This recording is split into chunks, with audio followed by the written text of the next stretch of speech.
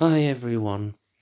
Uh, just um, wanted to share a video today. Um, nothing car related, but um, it's regarding my Xbox. So what I've done is I've upgraded the hard disk drive to a solid state drive, as you can see there. And now the issue I'm having is after I have installed the OS one and um, put the you know Xbox back on there.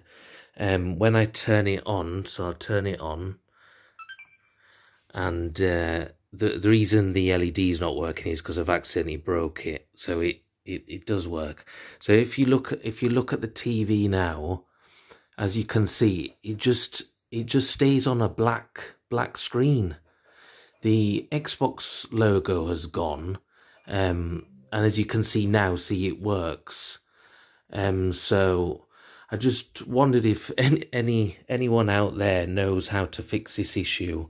Um, I've I've already tried I've already tried putting the bootanime.dat file back onto the A and B folders in the system update partition, and it still hasn't fixed it. So um, if anyone can let me know how to fix it or if you've had the same issues uh, please write in the comments. Um, if if you if you like the type of content I upload uh, please give us a thumbs up and like and subscribe. Thank you and happy new year everyone